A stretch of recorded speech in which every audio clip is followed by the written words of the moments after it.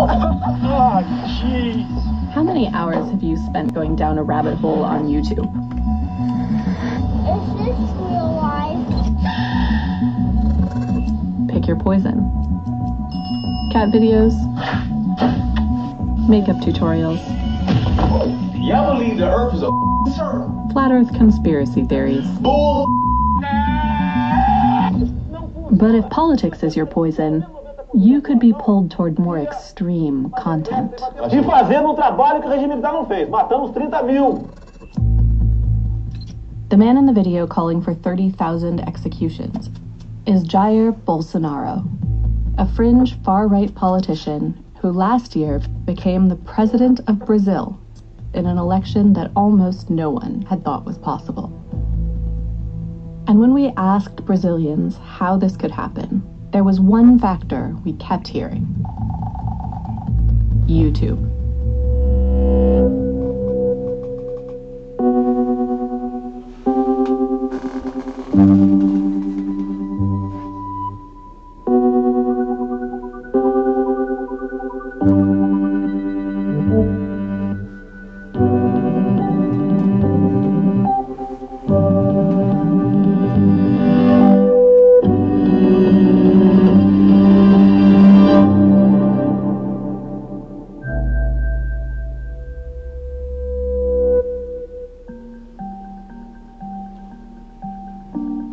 For the last couple of years, we've reported on how social media has disrupted societies around the world.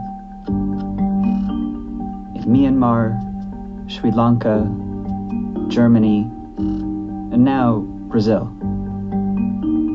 What we found is the extraordinary influence of YouTube on everyday Brazilian life. The artificial intelligence the company uses to entice people into watching more and more YouTube videos has affected things here in surprising, even disturbing ways.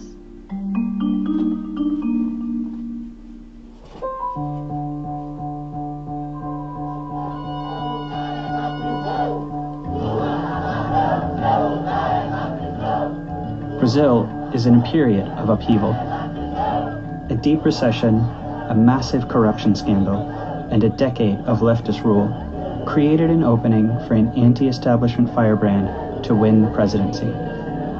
Today, Jair Bolsonaro's supporters are celebrating his success and the imprisonment of one of his leftist predecessors.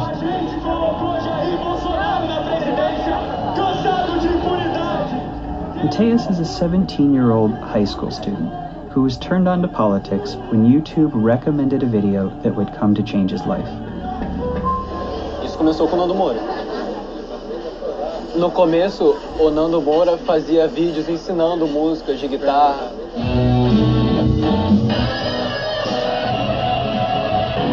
Comecei a seguir ele pela música e acabei assistindo os vídeos de política. A escola brasileira hoje é uma fábrica de produzir putas, traficantes e bandidos. E é por isso que os moleques estão completamente viciados em pornografia. Porra desse Nando Moura is one of Brazil's biggest right wing YouTube stars. He started simply, giving tips on how to play the guitar. But once he began ranting about conspiracies involving teachers, feminists, and mainstream politicians, his popularity soared.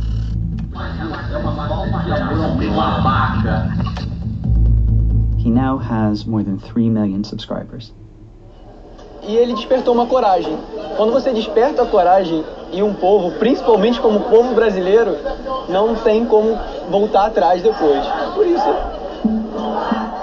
Members of the far right repeatedly told us that their political awakening began with a video recommendation from YouTube. essa indicação do próprio YouTube fundamental. A partir do momento que você é novo, tomando conhecimento daquele movimento, daquelas ideias, você não sabe chegar até o canal de forma autônoma. É preciso que o próprio YouTube indique é, é, canais similares e páginas similares para que você tome conhecimento. Both Mauricio and Mateus described watching one YouTube recommended video after another, leading them to videos that promoted longshot presidential candidate Jair Bolsonaro.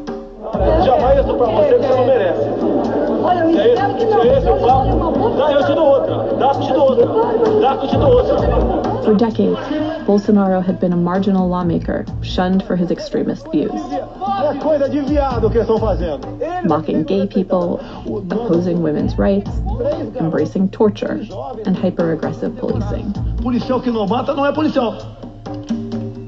But as YouTube increased in popularity, an army of its right wing personalities began to adopt and amplify Bolsonaro's views. Eu resolvi criar o meu próprio movimento, que é Unidos da Direita e Juntos por um Brasil Melhor. Nossa rede social da direita aqui do Brasil é o YouTube. To understand how politics in Brazil works these days, you don't go to the state capital. Fala galera, beleza? Tudo mamãe falei com o Fernando Roller aqui no sofá. You come to a place like this, a makeshift studio in Sao Paulo.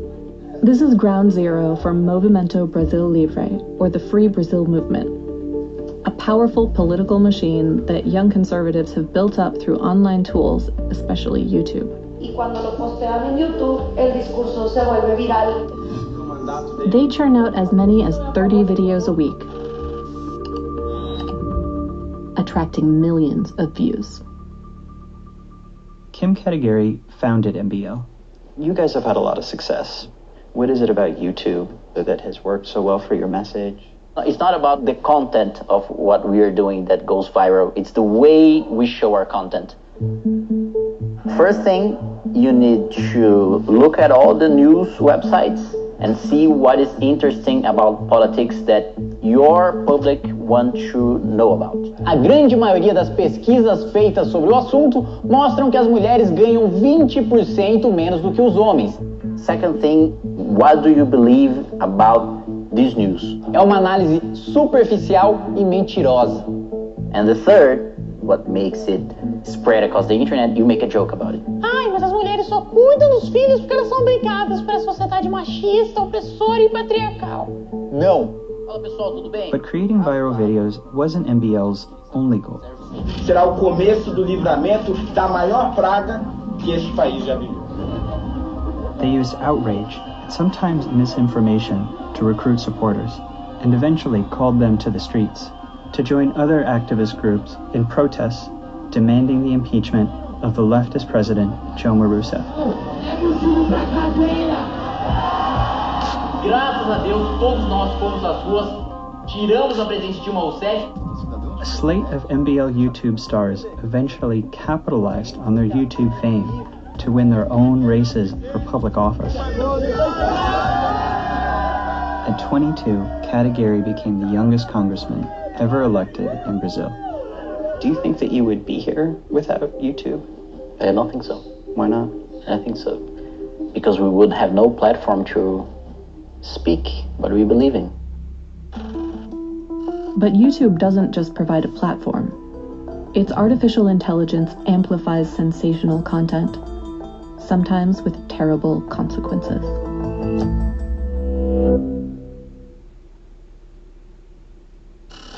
Fala galera, beleza? Eu Arthur do canal Mamãe Falei. Como vocês podem perceber, esse vídeo aqui eu deixei ele um pouquinho mais comprido, deixei ele num formato mais para YouTube mesmo. This is Arthur Moledo do Val, a former scrap metal worker who became one of MBL's most watched YouTubers when he started recording himself disrupting left wing protests. It's an outlandish tactic that's been wildly successful. No meu caso, que chamou essas pessoas para assistirem aos meus vídeos, com certeza foi a violência.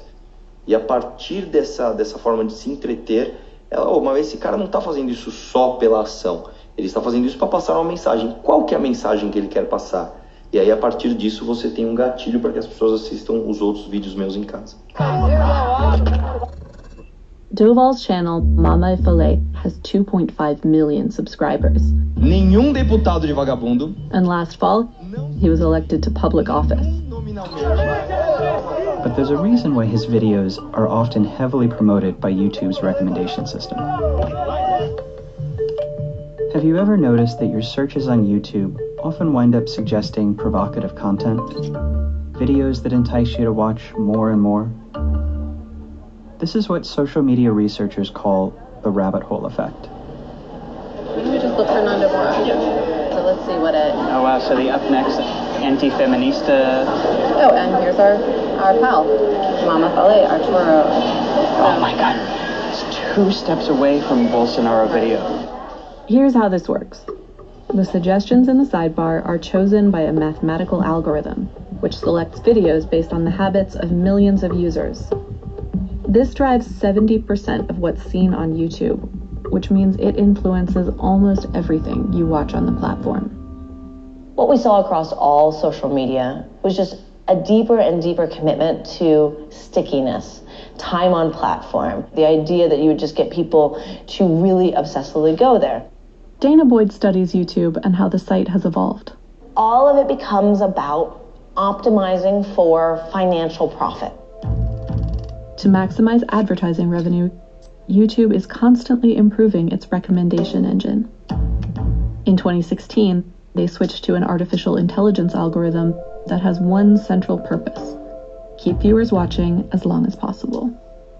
They started pursuing this goal of watch time.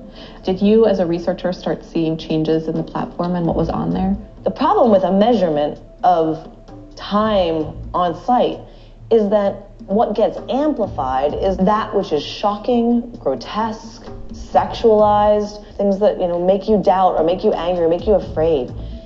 That's the content that captures people's imagination always. Recent searches on YouTube turning up bogus claims. YouTube promoted a video saying Hogg was a paid actor. The bizarre conspiracy theory known as Pizzagate. The false story. YouTube has been criticized in the US for promoting conspiracy theories. And in Brazil, where YouTube has more viewers than almost every TV network, misinformation has caused widespread confusion about serious matters of public health. Já ouvi falar sobre uma, é, um mosquito que foi geneticamente modificado pelo governo para combater, combater o mosquito, o próprio mosquito da dengue. A questão do, do mosquito geneticamente modificado também não, até porque ele não é capaz de, de transmitir vírus. When the Zika virus hit poor communities like Maceo, mothers were desperate to understand what had happened to their babies. Eu não tenho como sair de lá sem, sem saber de quê. Aí não é todo médico que fala, não. When they searched YouTube for information, they found wild conspiracies that blamed vaccines, and even the insecticides designed to prevent Zika's spread. Mothers like Gisle Angela were left confused. Pessoal, eu queria compartilhar com vocês uma informação que eu recebi. Mas ele se dizia que era enfermeiro, que foram as vacinas vencidas, que as pessoas tomaram e as crianças nasceram assim. O governo ele está fazendo uma baita malandrice com as pessoas. Fiquei, na verdade, eu fiquei até com medo de dar vacina. Minha filha de tomar mais vacina depois disso. Aí eu fiquei com medo, inclusive eu também não tomei a vacina. Olha que linda, meu amor. Que linda. Vamos, Lorena. Terrified, many families in Brazil are avoiding vaccines and anti Zika insecticides. Health workers told us that this could be driving a resurgence in measles and yellow fever and lead to further outbreaks of Zika. But the Zika case is just one of many conspiracies that have been allowed to spread on YouTube. Viral videos have incited panic and put Brazilians in danger, often to the political benefit of those seeking power.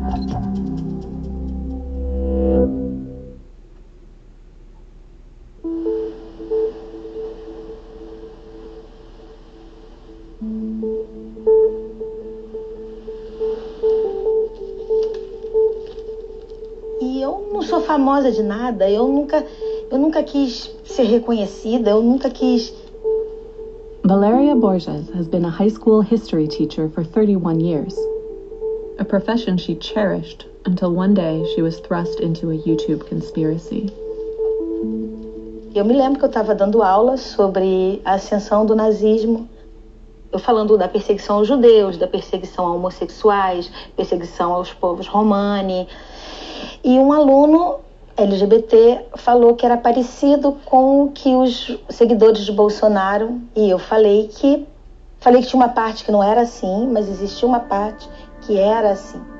Por volta de umas 5, 6 horas da tarde, começou um monte de aluno vir falar comigo no Facebook, professora, você foi gravada, você tá me mandar o som.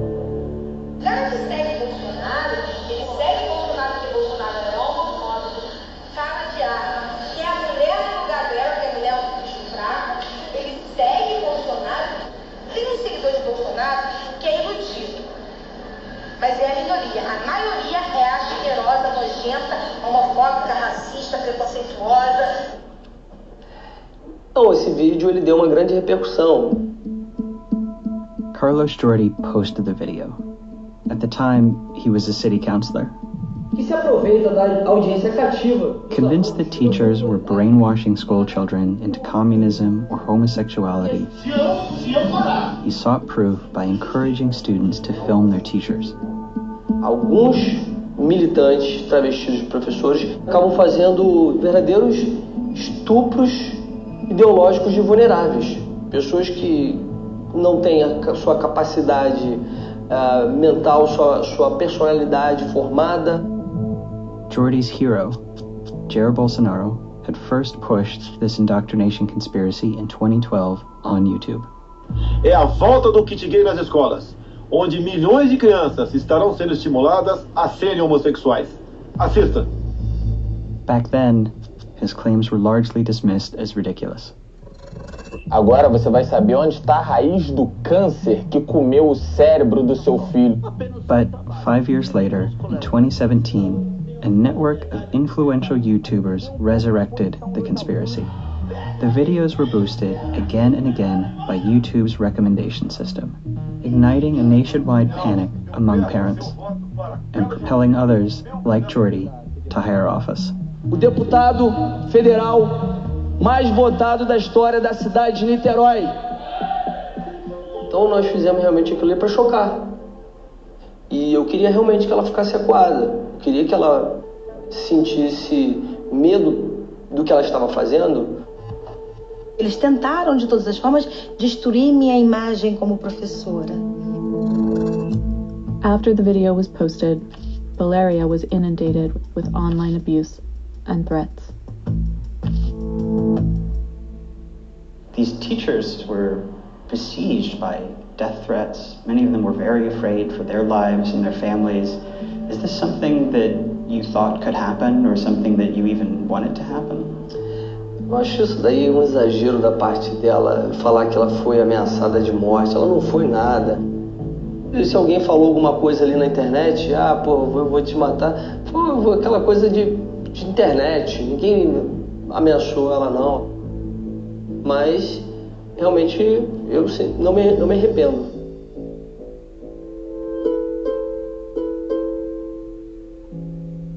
There is a pattern here, and they want to spread out the fear and the terror. Debora Diniz is a prominent abortion rights activist from Brazil. She now lives in hiding in the US. I started to receive threats. Most of them, they describe the way that they will kill me, that they will rape me, that they will kill my husband. Step by step, what they will do before I die. One of the guys that we were able to identify when the police asked him, Why are you doing that? Why are you threatening her? And he said, Because I saw a video at YouTube. E o objetivo deste vídeo é fazer a senhora Débora Diniz conhecida. Vocês, feministas, abortistas, não representam o povo brasileiro. Então aqui, senhora Débora Diniz, nós estamos de olho. According to Diniz, YouTube's system of recommending one video after another created a cycle of intensifying outrage toward her. They start going in a loop. And that loop is what moves the fantasy to someone saying, I will do what has to be done. So, does that make the company responsible for the death threats that have upended your life? Legally speaking, I cannot tell you that yes. But in an ethical perspective, in a democratic perspective, yes, any company has to be accountable for supporting hate speech. All right, so this is Susan. She is the CEO of YouTube. It is wonderful to have you. YouTube has routinely answered critics by claiming that it's merely a passive provider of information. We're really more like a library. There have always been controversies if you look back at libraries. For the last two years, we have been really, really focused on right. on responsibility. What all the the news and the concerns and the stories have been about this fractional um, one um, Look, if we took down that content, there would be so many other so much other content that we would need to take down. YouTube repeatedly declined our requests for an on camera interview.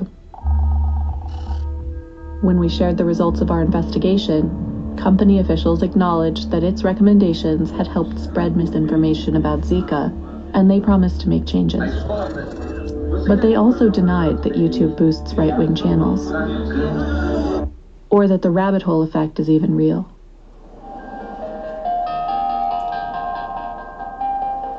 To test for the rabbit hole phenomenon in Brazil, researchers at Harvard conducted a computer automated study. They followed thousands of video recommendations, tracing something like a subway map for how the platform directs viewers. We followed basically the channels and their recommendations, and then we analyzed this to make sense of the universe that YouTube creates. The results were disturbing. Brazilians were disproportionately recommended videos from the far right, pro Bolsonaro bloggers, and conspiracy theorists. The far right is much bigger in scope, more channels there uh, that are also much more often recommended than the same case for the left. But in studying YouTube's algorithm in Brazil, the researchers encountered something completely unexpected a revelation that had nothing to do with politics or misinformation what we found was 40 to 50 channels that seemed to fall under the general topic of what we might call child exploitation, not a lot of clothing, and this was a community that YouTube's algorithm put together. It seemed like it started with in the context of sex education. Describing their first time having sex, making gestures that are suggestive. And from there, YouTube's channel recommendation kind of like moved towards sexually suggestive side. Sometimes the women were of age, mm-hmm. often they were not. So, what you found was a network of videos that had been kind of collated together by the algorithm of really young kids that seemed to have been selected because they featured some sort of nudity or suggestive content. That's correct so many people let their kids put content on social media and videos and things like that because they think, you know, my kid's not famous. I don't need to worry about who's going to see this because who would ever come looking for it? Which makes sense, except the thing that comes looking for it is the algorithm. And it doesn't know anything about this child, but it does know that there is something about this video that'll get people to click. All of them are little kids, like six year old, five year old, something like that. And almost all of them are in some sort of a suggestive position. There's no nudity, they're not doing anything sexual. Usually they just seem to be part of these ordinary channels. And it's just horrifying to think of these kids whose, you know, they probably have no idea, their families probably have no idea that this company has taken their content and served it to people for their like sexual gratification, basically.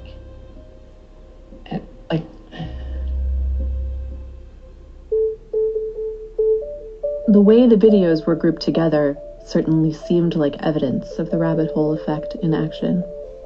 Once we alerted YouTube to the problem, the algorithm stopped recommending some of these videos alongside one another.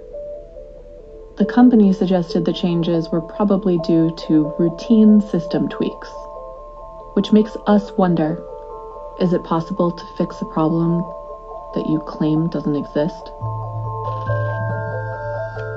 Olá, Jair Bolsonaro. Since his election, Bolsonaro and the far right have turned their YouTube boosted worldview into official government policy. And as YouTube's reach continues to expand, so will its influence. And not just in Brazil.